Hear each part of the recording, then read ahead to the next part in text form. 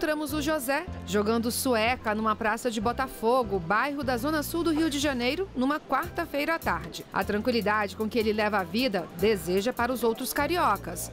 O aposentado acredita que a intervenção federal no estado pode ajudar. Foi uma medida adotada muito boa, entendeu? Porque o negócio estava demais. Você passava em qualquer lugar, as pessoas passavam, o que eu vejo em reportagem, eram assaltadas. Com data certa para acabar, a intervenção federal quer que sejam pensadas medidas para o amanhã, quando o Comando da Segurança Pública retornar ao estado do Rio de Janeiro. O plano estratégico que guia a iniciativa prevê ações até 31 de dezembro de 2018 e traz sugestões para o próximo governo.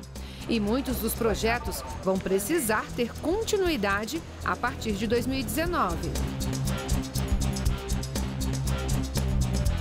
Eu não consigo, por exemplo, é, terminar grandes obras, obras de penitenciárias, obras de delegacias, num período feito esse.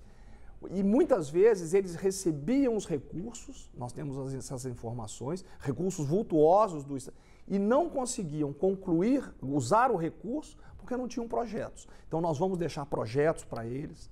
E agora, lembre-se, tudo com a participação deles para poder não, não, não ficarem é, perdidos quando nós sairmos. O legado da intervenção não fica restrito ao Rio de Janeiro. Medidas como a criação do Sistema Único de Segurança Pública e do próprio Ministério da Segurança Pública vão permitir uma atuação integrada das forças em todo o país.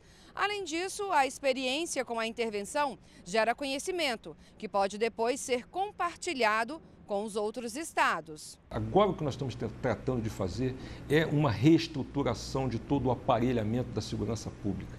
E isto pode efetivamente ser salutar para todo o país, porque a partir das experiências adotadas aqui, nós podemos influenciar bastante esse sistema único de segurança pública que está em gestação que está começando agora. Além de destinar recursos para reequipar as forças de segurança do Rio de Janeiro, o governo federal, por meio do BNDES, anunciou uma linha de crédito para que os demais estados do país também possam comprar equipamentos para as polícias. São 5 bilhões de reais disponíveis até o final deste ano, a juros mais baixos. São 4 bilhões através de uma linha chamada BNDES Pro Segurança e 1 bilhão de reais no meio, né, por meio das linhas eh, tradicionais do banco. A diferença é, a linha é, Pró-Segurança, ela é toda formatada para ser bastante ágil, mas ela é direcionada para um certo grupo de equipamentos. Então, são 4 bilhões de reais, pode ser usado para comprar viaturas, coletes, armas e outros equipamentos é, para segurança. Esses equipamentos serão definidos pelo Ministério da Segurança e né, a, o próprio Ministério da Segurança vai fazer uma licitação guarda-chuva e depois cada estado pode usar essa mesma licitação para fazer a aquisição dos seus equipamentos. O governo também destinou recursos das loterias para o Ministério da Segurança Pública, que vai coordenar ações em todo o país em parceria com os estados. Além disso, estão sendo criados o Instituto Nacional de Estudos sobre Segurança Pública, que vai monitorar a evolução do tema no país, e a Escola Nacional de Segurança Pública e Inteligência, para formar gestores especializados no assunto.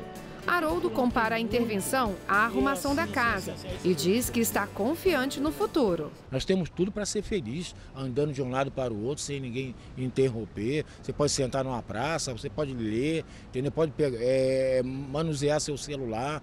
Vai ajudar muito, vai arrumar a casa, vai entregar a casa arrumada, tá entendendo?